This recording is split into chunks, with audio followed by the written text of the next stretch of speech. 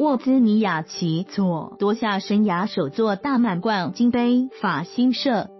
记者梁伟明综合报道：澳洲网球公开赛女单决战，丹麦甜心沃兹尼亚奇 （Caroline Wozniacki） 技高一筹，激战近三小时，终协七比六、七比二、三比六、六比四拖垮罗马尼亚现任世界球后哈勒普 （Simona Halep）。沃兹尼亚奇生涯首座大满贯金杯到手，不但魁违六年重返世界第一，也终于一扫四大赛皆空。的无冕后阴霾。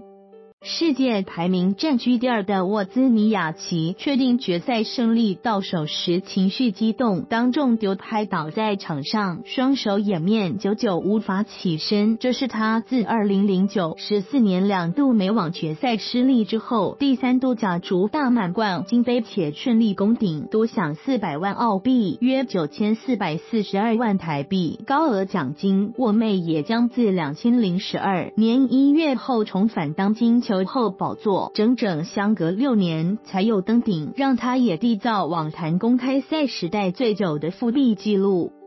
沃兹尼亚奇魁为六年重返世界第一。欧青社。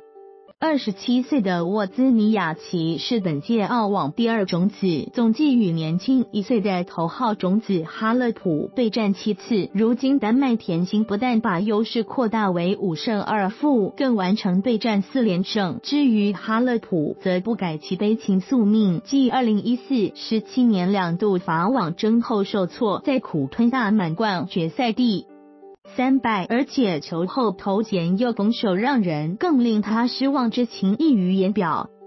沃兹尼亚奇生涯首座大满贯金杯到手。美联社：沃兹尼亚奇早四大赛皆空的无冕后阴霾。欧新社：沃兹尼亚奇。美联社：沃兹尼亚奇路透。